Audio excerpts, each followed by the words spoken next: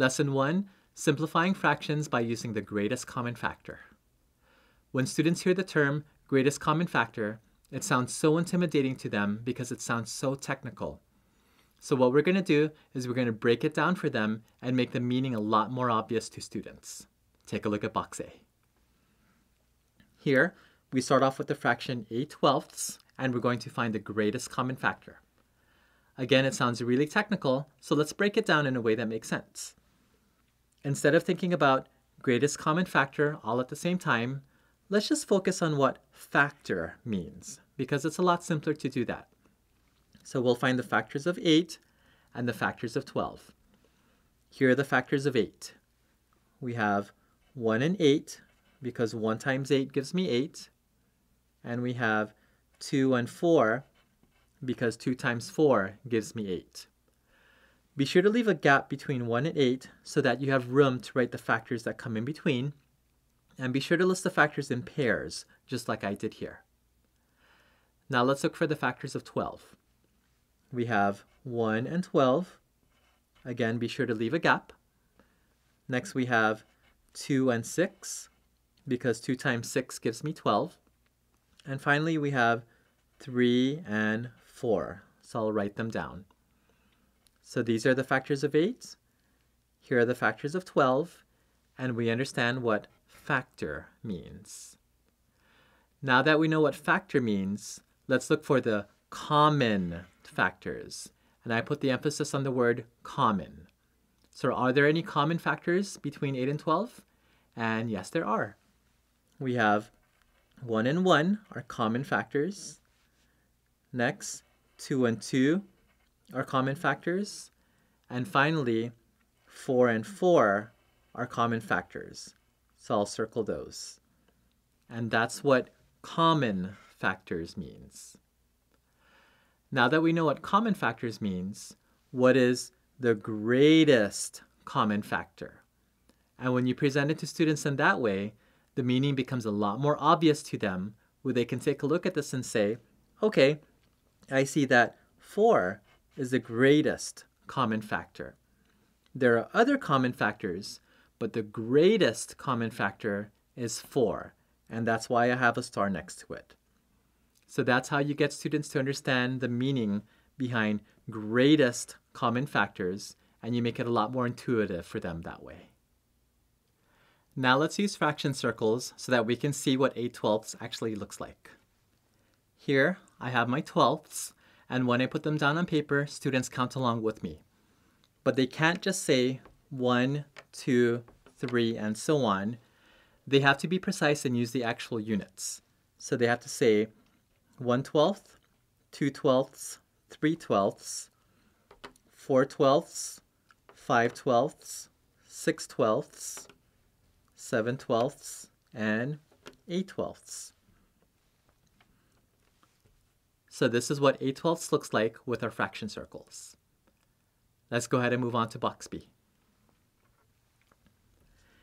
In box B, we're going to start off with the same fraction, so we'll write 8 twelfths, and we're going to divide the numerator and the denominator by 1, which was one of the common factors. So I'll write divide by 1, divide by 1. 8 divided by 1 gives me 8. 12 divided by 1 gives me 12.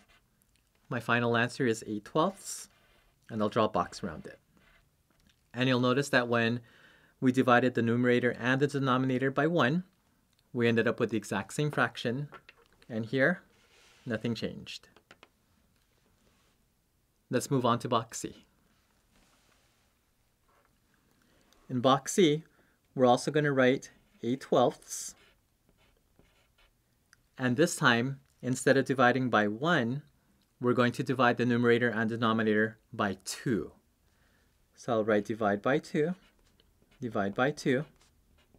8 divided by 2 gives me 4.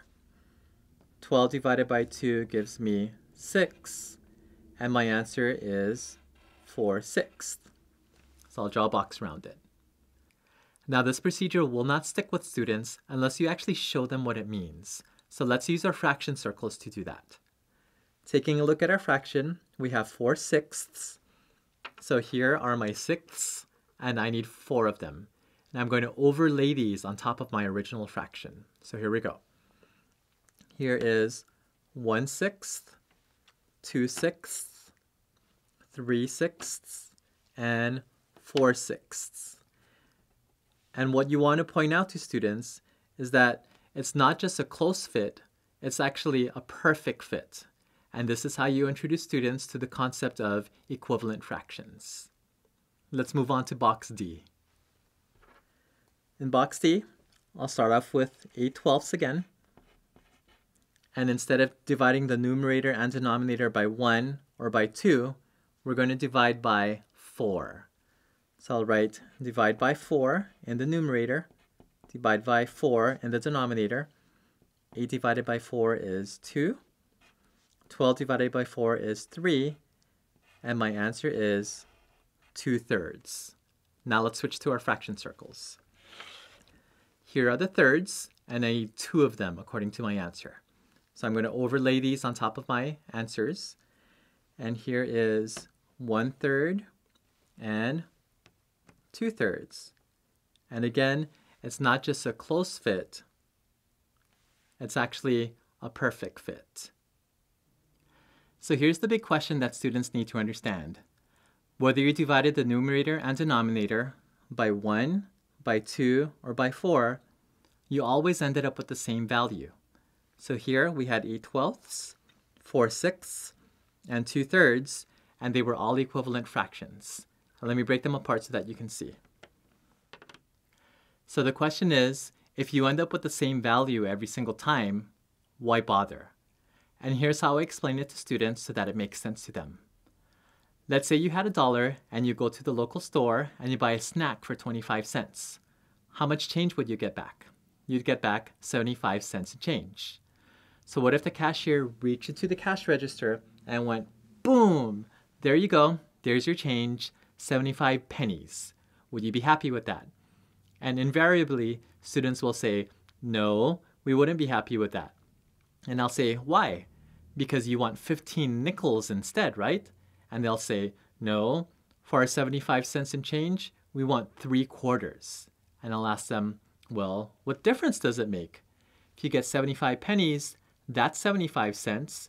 If you get three quarters, that's 75 cents. Why would you rather have one over the other?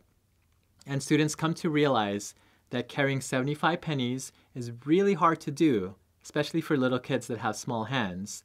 And carrying three quarters is a lot simpler, and that's why they would rather have three quarters instead of 75 pennies, even though they have the exact same value. So taking a look at our fraction circles, this is like carrying around a bunch of pennies. This is like carrying around a bunch of nickels. And this is like carrying around a bunch of quarters. Even though they have the exact same value, which one is simpler to hold in your hands? And you can see here that this fraction, 2 thirds, is a lot simpler to hold in your hands, and that's why we call it simplifying. So 2 thirds is a lot simpler to hold than 8 twelfths, and that's why we bother, and that's why we go through that process. Once again, here are the steps to find the greatest common factor so that we can simplify fractions. Step 1, factor. The factors of 8 are 1 and 8, and 2 and 4. The factors of 12 are 1 and 12, 2 and 6, and 3 and 4. Step 2, common factors. What are the common factors between 8 and 12? We have 1 and 1, 2 and 2, and 4 and 4. Step 3, greatest common factor. And it's mm. pretty obvious, the greatest common factor is 4. So we draw a star next to it. And this is how you find the greatest common factor. In the next lesson, we're going to learn the shortcut to finding the greatest common factor and the magic question, which can be even faster than the shortcut. Here's an important note before we move on to the next lesson.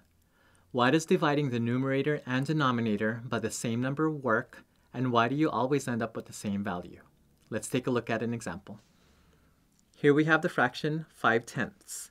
And if I divided the numerator by 5 and divided the denominator by 5, what do you end up with? 5 divided by 5 gives you 1. 10 divided by 5 gives you 2. And you end up with the fraction 1 half, which is equivalent to 5 tenths. But why does it work? Well, if you think about it, here you have 5 over 5, or 5 divided by 5. And what is 5 divided by 5? Well, that gives you 1. So I'm going to write a number 1 here.